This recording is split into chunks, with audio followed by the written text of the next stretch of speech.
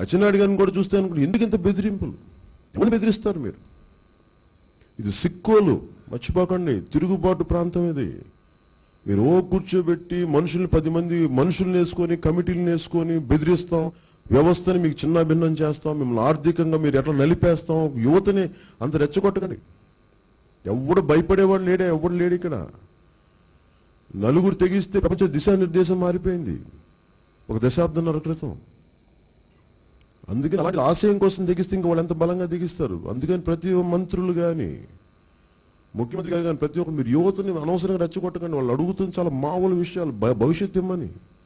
Governor గారి చేత కితాబులు పిచ్చుకుని సరిపోద్దా? నాకు ఫస్ట్ టైం గవర్నర్ గారి మీద కూడా ఇబ్బంది అనిపించింది. ఒకసారి గవర్నర్ గారు తిరగాలి ఇక్కడ. బాగా చేస్తుంది తెలుగుదేశం గవర్నమెంట్. మీరు వచ్చి తిరగండి ఒకసారి. అప్పుడు తెలుస్తుంది బాధలు. పది రోజులు కరెంట్ లేదు. మీరు పది రోజులు ముందు మీరు కితాబేలా ఎలా ఇచ్చేస్తారు? గవర్నర్ గారు నాకు అర్థం కాలా. నాకు ఇబ్బంది అనిపించింది అన్నమాట తిరగండి ఇక్కడ బయట.